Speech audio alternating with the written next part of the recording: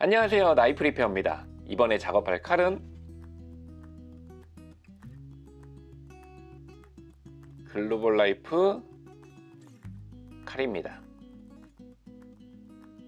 확대해서 보면 여기 날 끝 부분이 조금씩 손상된 걸 볼 수 있고 이 표면도 지금 깎여 나간 걸 볼 수 있습니다. 작업은 전체적으로 작업을 해줄 거고 이 핸들부터 이 앞쪽 부분 그리고 손상된 부분까지 정리를 해주고 마지막으로 나를 연마하면서 작업을 끝내도록 할 거고요 아 요즘에 흑백 요리사라고 지금 넷플릭스 컨텐츠에서 나오는 그런 요리 경연? 요리 대결 프로그램이 있는데 그곳을 통해서도 이 글로벌 라이브 칼도 나오더라고요 요즘에는 굉장히 다양하게 사람들이 칼을 선택하고 사용하시는 걸 볼 수 있는데 각자 원하는 그 작업 방식에 따라서 칼을 선택하고 사용하시면 굉장히 좋죠 요즘에 해외 직구나 인터넷 사이트에서도 다양한 칼들을 만나볼 수 있고 워낙에 다양하다 보니까 원하는 정도 원하는 손질 방법에 따라서도 칼을 선택해서 사용할 수 있는 그런 장점이 있습니다. 그런데 여기서 문제가 하나 있는데요.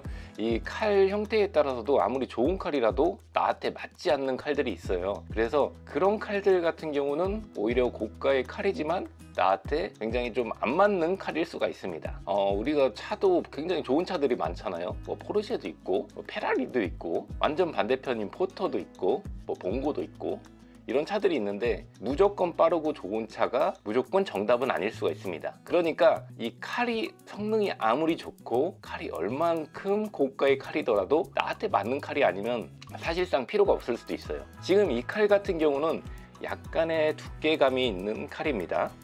그리고 이 지금 양쪽으로 나눠져 있는 이 부분에 떨어지는 라인이 이쪽 부분까지는 두께감이 있고 여기부터 내려갈수록 두께가 줄어드는 방식이에요. 이런 칼 같은 경우는 깊게 들어가는 재료를 손질하기보다는 조금은 깊지 않은 재료 그러니까 이 부분까지를 주력으로 사용하는 칼이라고 보시면 됩니다. 실제로 단단한 물을 이 칼로 사용을 했을 때 무가 이렇게 재료가 들어가면서 이 부분까지 왔을 때 굉장한 저항감을 느끼게 돼요. 그래서 무가 쪼개지거나 칼이 너무 안 들어서 힘을 세게 줘야 될 수가 있습니다. 물론 이 두께가 갑자기 증가되는 이 부분을 완전히 쳐내서 두께를 완전 끝까지 밀어낸다면 방금 말씀드린 물을 손질했을 때 좀 더 가볍게 저항감 없이 들어갈 수가 있는데 이 칼 자체가 이렇게 만든 이유가 있고 그리고 이렇게 사용하기 위해서 이 칼이 디자인 됐기 때문에 제 경우는 칼 수리를 하면서 이 칼에 맞게 수리를 하는 편이고 장비 사용도 장비에 맞춰서 칼을 수리하는 게 아니라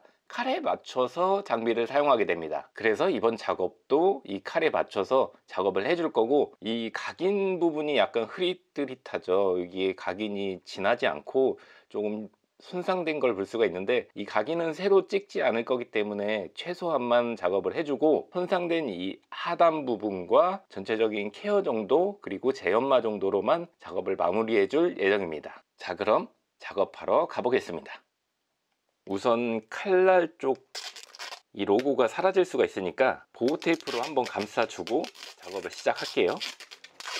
칼은 여기에 고정을 해주고 시작을 할 겁니다. 첫 번째는 여기 보이는 타공 부분에 끼어 있는 이 이물질을 제거를 해줄 건데 위생을 위해서 이렇게 전체적으로 스텐 계열을 사용하고 있는 칼들은 굉장히 미끄러울 수가 있어서 이렇게 타공 부분을 디자인한 걸로 보이는데 이 타공 부분에는 쉽게 오염물질이 들어갈 수가 있어요. 그래서 지금 작업하기 전에 확인해 보니까 오염물질이 들어 있어서 이 부분도 작업하면서 이 오염물질을 제거를 하고 작업을 하겠습니다. 제가 하는 작업들이 굉장히 뭐 어려운 작업들은 아니니까 직접 하실 분들은 이 영상을 보고서 직접 하셔도 좋을 것 같습니다. 우선 알코 수압이죠. 이거 굉장히 저렴한 제품인데 이런 거를 사용해서 이렇게 맞춰서 대준 다음에 이쑤시개나 이런 뾰족한 도구를 이용해서 이렇게 닦아 주시면 돼요. 이물질 보면은 지금 더러운 오염물질이 나오는 거 보이죠? 이렇게 하나씩 제거를 해주면 됩니다. 이렇게 한 칸씩 이동하면서 제거를 해주시면 돼요. 이렇게. 어렵지 않죠? 굉장히 쉽습니다. 어, 집에서 사용하시는 이런 칼 같은 경우도 글로벌 나이프를 사용하시면 이런 타공 부분들이 있는데 이런 타공 부분들 이렇게 가끔 한 번씩 청소해 주시면 좋아요. 깨끗해진 것 같죠? 이제 반대편도 작업을 해주고 그 다음 작업으로 넘어갈게요. 이렇게 끝났으면 이제 그 다음 작업을 해줄 거고요. 그 다음 작업은 여기 보이는 요 상처를 전체적인 요런 상처들을 제거를 해줄 거예요. 가까이서 보면 요런 상처들인데 이 상처들 같은 경우는 너무 많이 손상돼 있다 생각하면 사포를 먼저 해주고 철솜을 사용해 주면 되고 지금처럼 요 정도 사이즈의 이런 상처들 같은 경우는 철솜만 사용해서 가볍게 문질러 줘도 어느 정도는 일정 부분 제거가 됩니다. 이렇게 철솜을 사용해서 이 부분을 밀어주면 되는데 지금 보면 이렇게 앞뒤로 스크래치 패턴이 있죠. 이 스크래치 패턴대로 밀어주시면 좀더 깔끔하게 돼요. 반대편으로 밀면 아무래도 스크래치 패턴이 반대편으로 나기 때문에 일정하지 않고 좀 더 미관적으로 봤을 때 좀 더 예쁘지 않겠죠? 그래서 이렇게 앞뒤로 밀어주시면 됩니다. 이렇게. 네 이렇게 밀어주시면 됩니다. 그러면 이렇게 깔끔하게 지워진 걸 볼 수가 있습니다. 이런 식으로 전체적으로 한번 다시 확인하면서 이런 상처들을 지워주고 다음 작업으로 넘어갈게요. 이렇게 핸들 쪽 작업이 끝났습니다. 그러면 이제 다음 작업으로 날 작업을 한번 해볼게요. 날 작업 하기 전에 이 핸들 쪽 감싸주고 날 작업을 해줄 거고요 날 작업 끝난 다음에 전체적으로 한 번 더 톤을 맞춰 줄 거예요. 이 각인 보호를 위해서 이 보호 테이프를 한번 발라주고 반대편 작업을 하도록 할게요. 날 끝 쪽까지 현재도 많이 두껍지 않고 얇은 상태로 내려왔기 때문에 두께 조절 작업은 따로 하지 않고 표면만 마감하도록 할게요. 이 날쪽 작업은 이 사포를 이용해서 한 단계씩 위쪽으로 올려줄 거고요. 지금 보이는 여기 깨끗한 부분 이상 아니면 이 깨끗한 부분 정도까지 이 아래쪽을 맞춰주고 한 단계 내려서 이 아래쪽 패턴을 맞춰줄 겁니다. 이렇게 사포를 이용해서 밀어서 위쪽 깨끗한 부분까지 정도를 이렇게 두 개가 같게 만들어 줄 거예요. 이 작업을 지금 수공으로 작업을 하고 있잖아요 이 작업을 기계로 작업하게 되면 이 아래쪽 지금 현재는 이 아래 맨 끝 부분이랑 이 바로 위에 요 정도의 부분까지 엄청나게 얇아요. 그렇기 때문에 기계를 사용하게 되면은 이 부분이 완전히 타서 날이 사라지거나 아니면 날 손상 때문에 이 위쪽까지 빠르게 날이 소모되면서 올라올 수가 있습니다. 그래서 지금처럼 수공으로 한 단계씩 맞춰서 위 위쪽 패턴하고 같게 만드는 거예요.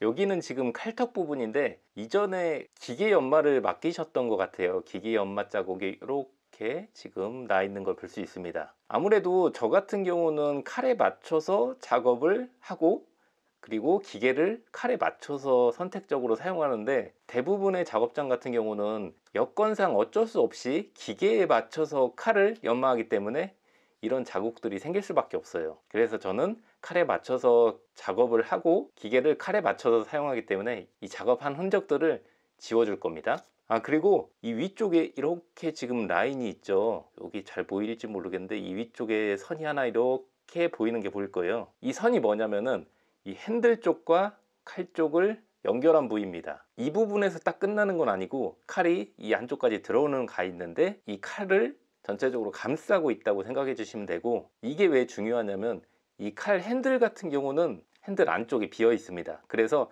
아까 핸들 정돈하면서 사포나 아니면 철솜을 사용을 했는데 핸들이 비어 있으니까 많이 갈아내거나 아니면 충격을 주게 되면 핸들이 찌그러지거나 아니면 빵꾸 날 수 있습니다. 그렇기 때문에 이렇게 지금 서로 다른 강제로 연결되어 있는 상태 같은 경우는 핸들이 비어 있을 수 있으니까 작업을 무리하게 하면 안 됩니다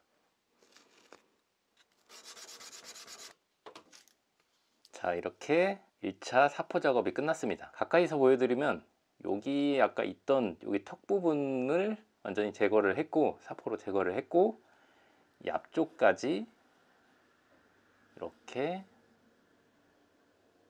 정돈을 해줬어요 이 작업을 궁금해 하시는 분들도 있었는데 이 작업을 어떻게 하냐, 얼만큼 걸리냐 그런 질문들을 해주셨는데 사실 딱히 노하우 같은 거 없습니다. 그냥 물집이 잡히고 터지고 할 때까지 계속 밀어주시면 돼요. 그러면은 대부분 대부분 시간이 해결해 줍니다. 그리고 이런 질문들도 있었는데 이 사포를 할 때 이쪽 방향으로 제가 연마를 했잖아요. 그리고 나서 다음 입도로 넘어갈 때 이렇게 이 방향으로 연마를 하는 게 맞다고 하시는 분들이 있어요. 사실 그게 맞습니다. 그런데 저는 왜 같은 방향으로 계속해서 연마를 하냐 이걸 영상에서 계속 보여드렸는데 그거는 이 날쪽 부분이 얇기 때문입니다. 이렇게 연마를 다음 방수하고 또 이렇게 연마를 하게 되면은 계속해서 깎여 나가는 게 더 많아지고 그걸 지우기 위해서 더 많은 소모를 하게 됩니다. 날 쪽이죠. 날 쪽을 더, 더 많은 소모를 하게 되고 그러다 보면 날 쪽이 너무 약해져요. 그래서 저 같은 경우는 이렇게 지금 연마가 돼 있으면 다음 입도로 할 때 끝나는 지점에서 약간 옆으로 이렇게 연마를 합니다. 그리고 그 다음 입도에서 다시 이렇게 연마를 합니다. 그러면서 과도하게 연마하는 것을 조금은 방지를 할 수 있고 그것 때문에라도 이 날끝을 유지를 할 수가 있게 돼요. 그래서 영상에서 보여주는 것처럼 저는 이렇게 이렇게 번갈아 가면서 하진 않고 거의 같은 방향인데 약간 대각 방향으로 보이는 패턴들이 가끔 있다. 이 정도만 생각해 주시면 감사하겠습니다. 자, 그럼 이쪽 면을 완전히 작업을 끝내고 반대쪽 면도 작업을 끝내고 다음 작업으로 넘어가 보도록 할게요. 다음 작업 연마 작업인데 한 번에 간주 점프하는 것처럼 연마로 한 번에 넘어가면 좀 그럴 것 같아서 한 몇 개 정도 영상에 더 담고 연마 작업으로 넘어갈게요. 지금 이 작업은 초벌 작업에서 천 입도 사포까지 한 번 더 올라간 상태고 두 단계 정도만 더 올라간 다음에 위아래 맞춰줄 겁니다. 자 이렇게 이제 패턴도 맞춰줬고 이제 이 뒷면 뒷면도 이 앞면 우측면이죠. 우측면과 같이 이 좌측면도 작업을 해주고 핸들과 같이 전체적으로 다시 한번 톤을 맞춰줄 거예요. 그리고 이 하단 라인도 본래 있었던 느낌으로 이 하단도 만들어 준 다음에 연마 작업으로 넘어가겠습니다.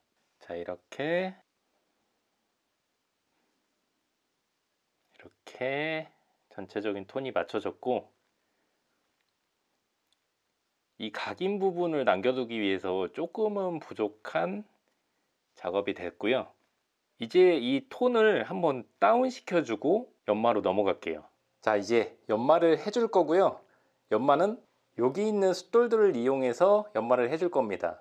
연마가 꼭 이렇게 많은 숫돌을 사용하지 않으셔도 되니까 적당히 두 개에서 세개 정도만 사용해 주셔도 충분히 연마는 가능합니다.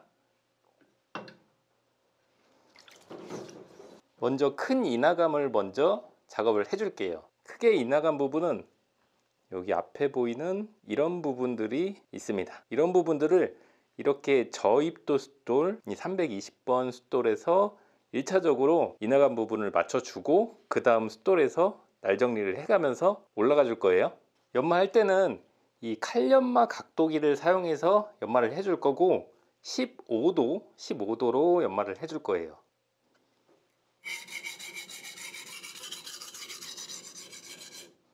연마할 때 그리고 밀면서 연마를 해야 되는지 당기면서 연마를 해야 되는지 궁금해 하시는 분들이 있었는데 사실 밀면서만 연마하지 않고 당기면서만 연마하지 않습니다. 그러니까 당겨서만 연마를 하셔도 이 방법과 경우에 따라서는 나를 잘 만들 수가 있고 사용하는데 문제없이 사용할 수 있는 방법이 될 수 있고요. 밀면서 연마하는 방법도 마찬가지로 충분히 사용하는 데는 지장 없게 나를 마무리할 수 있습니다. 하지만 일반적으로는 우리가 연마할 때 초심자분들 처음 연마하시는 분들 같은 경우는 당겨서 연마하는 그런 방식 같은 경우 오히려 날 손상이 될 수도 있고 실수할 경우에는 손가락도 부상을 당할 수가 있으니까 처음 연마하시는 분들 같은 경우는 밀어서 연마하시는 게 오히려 좀 더 당겨서 연마하는 것보다는 안전합니다.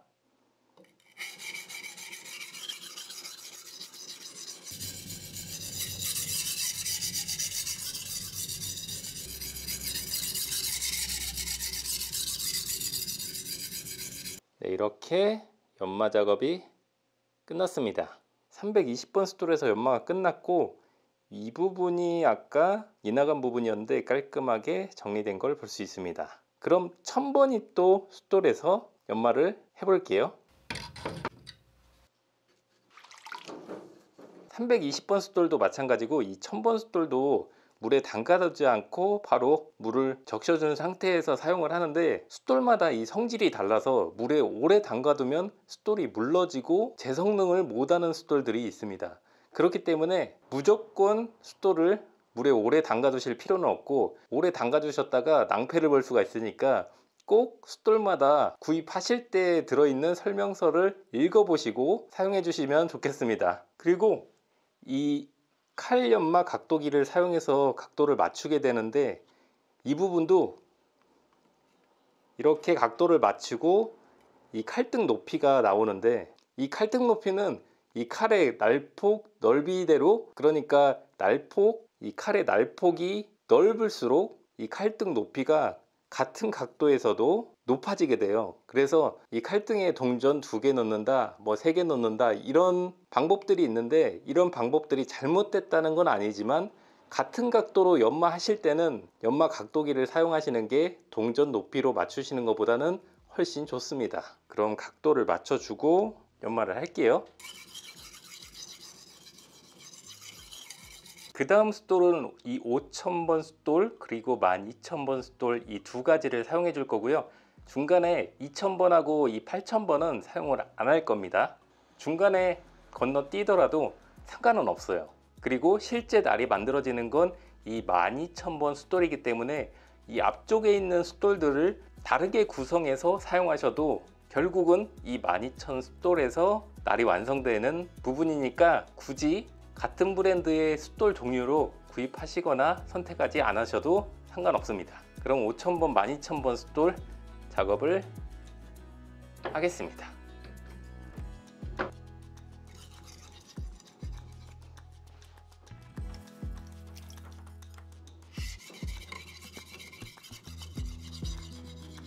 네, 이렇게 작업이 끝났고요. 날 테스트를 한번 하고 세척한 다음에 작업을 끝내도록 할게요. 날 테스트는 이 신문지로만 간단하게 테스트를 할게요.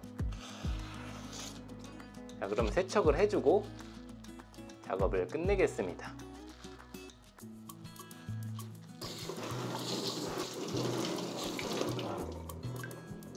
자, 이렇게 작업이 끝났습니다. 핸들 오염됐던 부분도 깨끗하게 작업이 끝났어요. 이 작업 자체가 아주 높은 작업은 아니라서 조금 부족한 부분도 있습니다. 그래서 그 부분 감안해서 봐주셨으면 좋겠고요. 그럼 다음 영상에서 뵙겠습니다. 감사합니다.